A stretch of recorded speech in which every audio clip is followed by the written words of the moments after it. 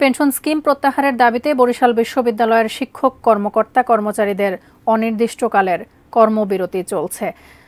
ফলে বিশ্ববিদ্যালয়ের সকল ক্ষেত্রে অচল অবস্থা সৃষ্টি হয়েছে। বরিশাল বিশ্ববিদ্যালয় থেকে এই বিষয়ে আরও জানতে হুমায়ুন কবিরের সঙ্গে যুক্ত হচ্ছে। হুমায়ুন, কি অবস্থা? বেশ কিছুদিন ধরেই কিন্তু এই অবস্থা আন্দোলন চলছে। শিক্ষক যারা রয়েছেন, তারা কি বলছেন? তাদের এই কর্মবিরতি তারা কতদিন চালাবেন বা যে তাদের পক্ষ থেকে দাবি দেওয়াগুলো আসলে কি কি?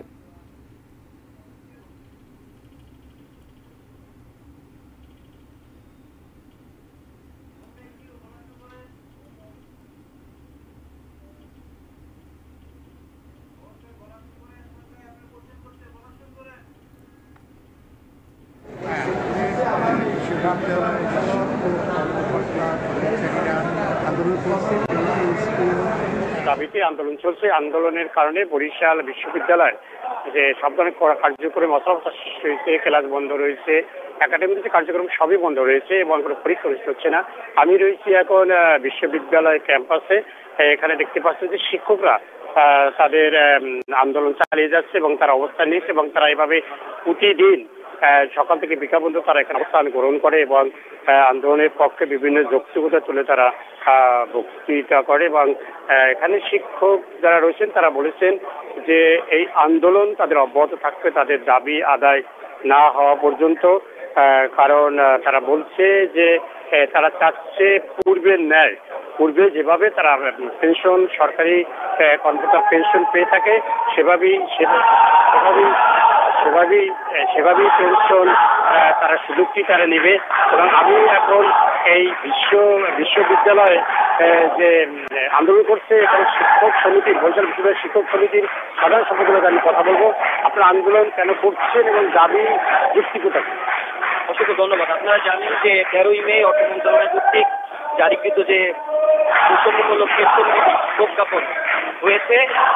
আমরা তার বিরুদ্ধে আমরা মনে করি, আমরা শিক্ষক সমাজ মনে করি, এই যে প্রজ্ঞাপন জারি করা হয়েছে, এই প্রজ্ঞাপন আমাদের শিক্ষকদের জন্য চরম অবমানকর বৈষম্যমূলক এবং যৌক্তিকতা বিবর্জিত। আপনারা সবাই জানেন, সার্বজনীন পেনশন বিধি বাংলাদেশ সরকার যখন প্রবর্তন করেছিল, তখন যারা পেনশন পায়নি, তাদের জন্য মূলত প্রবর্তন করা হয়েছিল। কিন্তু আশ্চর্যজনকভাবে আমরা দেখতে পাই, তেরোই মে জারিকৃত প্রজ্ঞাপনে আমাদের শিক্ষক সমাজকে একটি প্রত্যয় নামে দিয়ে আমাদের সেখানে ঢুকে দেওয়া হয়েছে।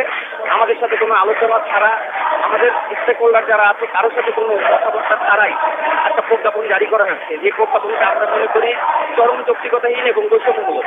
আমরা তার বিরুদ্ধে দাঁড়িয়েছি, আমরা শিক্ষক সমাজ, আমরা তার বিরুদ্ধে অবস্থান নিয়েছি এবং আমরা তার বিরুদ্ধে আন্দোলন করে যাচ্ছি। আমরা আশা করি সরকার খুব যৌক্তিক সময়ের মধ্যে আমাদের সাথে আলোচনা সাপেক্ষে কোনরূপ অন্য কোনো কাগজপত্র সূচিত কাগজে না। যেভাবে প্রজ্ঞাপন দিয়ে আমাদের এই প্রত্যেক চাপিয়ে দেওয়া হয়েছে। আবার প্রজ্ঞাপন জারি করে আমাদের সেই স্কিম থেকে আমাদের বাতিল করবে এবং আমাদের ক্লাসরুমে ফিরে যাওয়ার পরিবেশ তৈরি করেছে। আমি শুনলেন যে শিক্ষক সমিতির যে সদস্য তিনি বলেছেন, আন্দোলন চলবে, তারা কোনো রকমের আন্দোলনে সুস্থ হবে না। তাদের দাবি আদায় নেওয়া পর্যন্ত। আর এদিকে কোথা প্রথা বাতিলের দাবিতে এই বরিশাল বিশ্ববিদ্যালয়ে তারা আজকে কিছুদিনের মধ্যে আন্দোলন করছে। আপনি দেখতে পাচ্ছেন যে ইতিমধ্যে এখানে তারা বিক্ষোভ মিছিল শুরু করেছে এবং তারা বলছে যে তাদের এই যে দাবি না আদায় পর্যন্ত, তাদের দাবি আদায় না করে তারা এই আন্দোলন চালিয়ে যাবে এবং তারা কোথা বাতিল করে তারা কাজকে মেধাভিত্তিক নিয়োগ দেওয়া উচিত তাদের দাবি প্রতিদিন তারা এই লক্ষ্যে সড়ক অবরোধ করছে সাইকেল সড়ক অবরোধ করছে দুর্গগ্রস্ত জনগণের বিভিন্ন আমরা দেখতে পাচ্ছি এখনও তারা বিক্ষোভ করছে এই দাবি আদায়ের লক্ষ্যে সর্বশেষ